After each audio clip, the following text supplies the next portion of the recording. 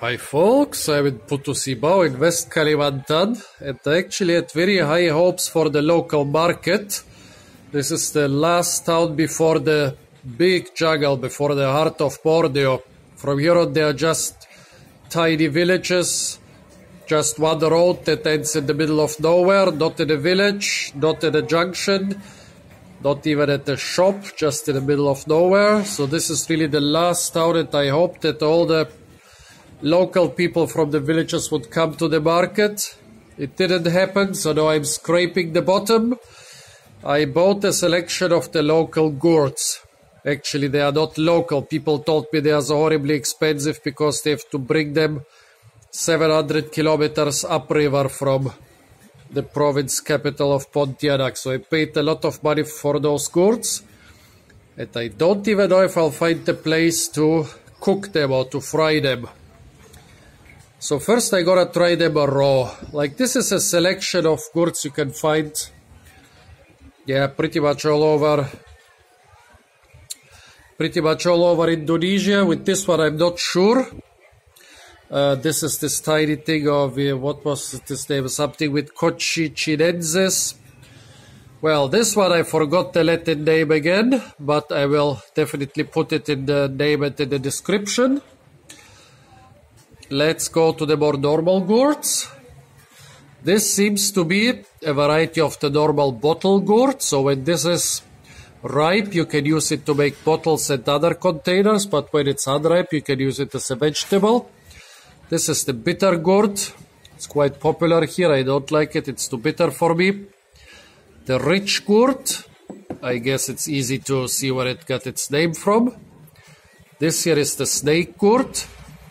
Sometimes they get a lot, even a lot longer than this and a little bit curved like a snake. And this here is the chayote. This is a gourd relative with just one giant seed inside. See, those have tons of seeds, even the tiny one. But this here has just one seed. Oh yeah, the Latin name of this I think was Momordica cochinensis. Species name was definitely cochinensis. Uh, I'm not sure about the about the genus name, but I'll definitely put a correct name in the video name. So now I gotta try them raw, and then I gotta walk around and beg some of those little restaurants to let me cook them. First, the normal bottle gourd. Hmm, quite nice.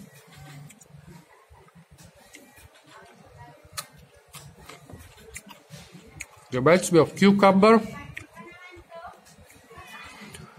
If you have eaten a salad of uncooked zucchini, it also reminds me of this, but more it's more like a cucumber.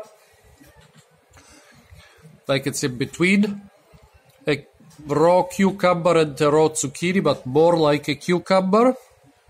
They don't eat it raw, but I would if I had no cucumbers, I would totally use it as a cucumber substitute. Let's try the bitter gourd. I already made a video about one of those, but it was already a lot more ripe. So this one is still unripe.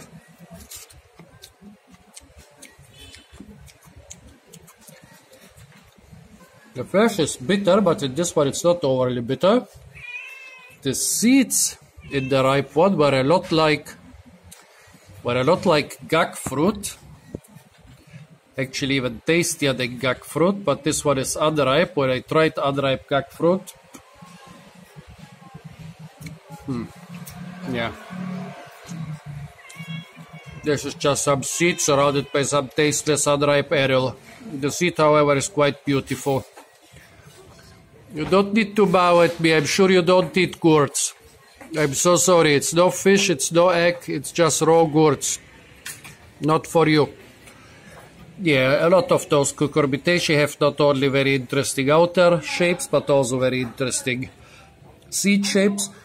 In the normal bottle gourd, well, has like normal zucchini or pumpkin-like seeds. The bitter gourd has more interesting seeds and it's already ripe enough for the seeds to be well developed but the aril is not well developed and not as tasty as in the ripe bitter gourd if you want to eat a bitter gourd fresh, I would totally prefer the aril surrounding the seeds to the bitter flesh. Let's try the snake gourd. Uh, let's try the ridge gourd, called ridge gourd because of the ridges here.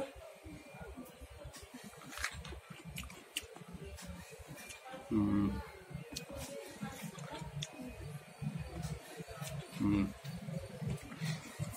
This has some earthy taste. And also some aftertaste of something that's not really supposed to be eaten raw.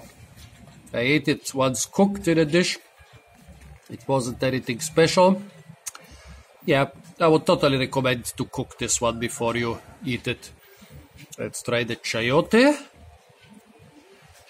This is quite popular like Latin America and subtropical parts of Spain like Andalusia or the Canary Islands. Here in Indonesia and Southeast Asia, it's not too common, but you can find it. Hmm. The skin is pretty tough, and the flesh is pretty crunchy. Crunchy, but not bad. Reminds me of something. Hmm. Hmm.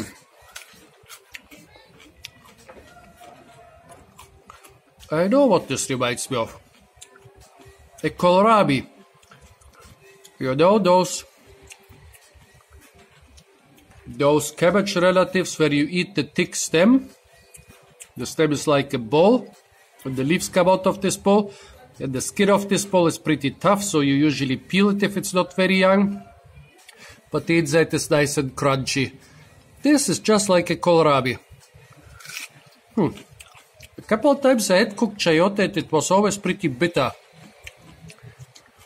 I think I got lucky this time. So folks, if you are missing kohlrabis up there somewhere in the tropics, the chayote seems to be a good substitute for that. Now let's try the snake gourd.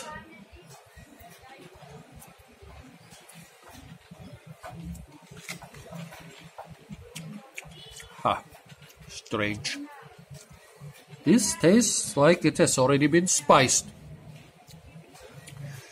It tastes like a cucumber, slightly dry cucumber. See, this part is a little bit shriveled up, but like a slightly dry cucumber with a slight chili flavor. I don't know if this is normal for snake gourd.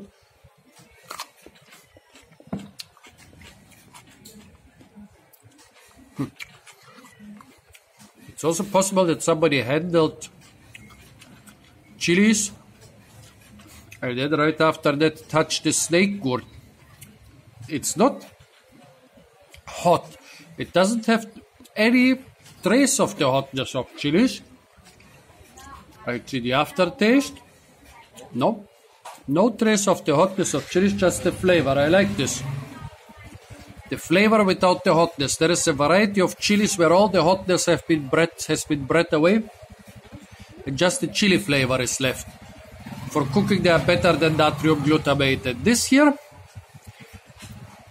the chili flavor is not so extreme, but no hotness at all. I like this.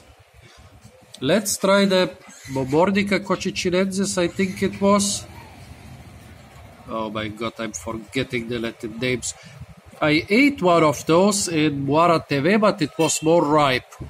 The inside doesn't look very appetizing. It has the color of the slime of on some very disgusting puddle. Hmm. This one also tastes different from the ripe one. Hmm. So I ate the seeds out of it. Hmm. Oh, they taste like the arils around the seeds. They taste like cucumber more or less. I'm chewing the seeds. It's not completely unripe. The seeds are well developed and hard, but tasteless, completely tasteless. Let's try the skin.